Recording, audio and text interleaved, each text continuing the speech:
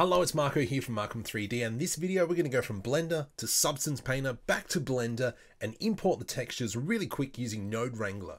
If you can, hit the like button just to help the channel and if you haven't already, subscribe. Let's get into the video and go from there.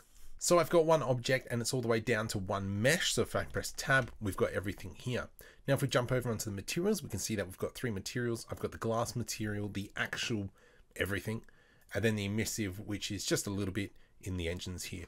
So first thing I'm going to do is go File, Export, FBX, save it somewhere, and let's just go Export. Jump over into Substance Painter. Let's go File, New. Now I'm going to have PBR Metallic Roughness Algorithmic. I'm just going to up the resolution. Let's go Select. Let's select our sci-fi spaceship that we've just exported and press Open. From here, OK. And you can see that our spaceship's now in here. From here, we go to the right and select Texture Set Settings. Scroll down till we see bake mesh maps. From here, output size, I'm going to increase that to 204080 as well. And then bake selected textures. Let's just bake them all out. What this will do is bake each of the materials that we set in Blender. Once it's finished, okay.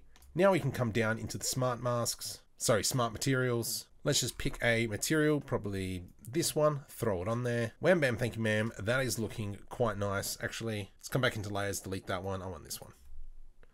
I like the dirt. Mm.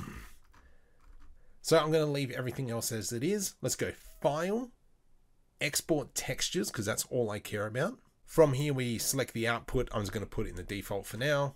From here, I'm just going to change the 8-bit to 16-bit. That doesn't need to be done, but I do it anyway. Let's now press Export. And you can see all our textures have now exported. Let's go back into Blender. I'm going to click on the Shading tab. Let's make sure we've got the aircraft material selected. I'm going to delete the normal map because we don't need that. From here, we need to make sure we've got Node Wrangler enabled. So we go Edit, Preferences, Node.